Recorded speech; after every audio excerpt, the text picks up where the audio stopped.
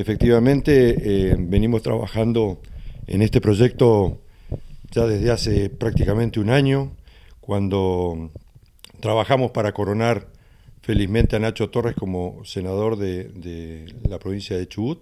Así que desde ahí para acá no hemos parado prácticamente de trabajar en este grupo y, bueno, de ahí surgió la, idea de llevarme a mí eh, como precandidato a la Intendencia de Trevelin por Cambiemos. Cambiemos en Trevelin, bueno, como en, distintos lugares de, nuestra provincia también, lo componen gente de distintos sectores, como es el radicalismo, el PRO, el peronismo federal, el Chusoto. Bueno, en, este grupo que hemos conformado ya hace algún tiempo es donde estamos trabajando y me han designado a mí como precandidato a la Intendencia de Trevelin. ¿Sostienen ustedes la alianza de las últimas elecciones a esta parte? Sí, por supuesto, la ratificamos, eh, por lo menos para Trevelin, eh, vos ves que, se están, eh, hay distintas diferencias y formas en la provincia como en la nación también, eh, pero para Trevelin ratificamos esta alianza. Es un compromiso que hemos asumido y espero que lo podamos cumplir. Mm, desde la Unión Cívica Radical se propone a la doctora Garrido. ¿Hay acuerdos? ¿Van a ir internas? ¿Cómo se define dentro de esta alianza?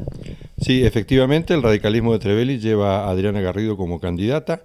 Eh, de hecho, hemos hablado con ella y, hemos tomado un compromiso ante Nacho Torres y Edith Terenzi, eh, donde vamos a, trabajar en forma conjunta y en los próximos días o meses, quien mejor esté posicionado va a ser el candidato definitivo a intendente por, la, por Trevelin y, el que no eh, lo acompañará. Pero la idea es no llegar a ninguna interna.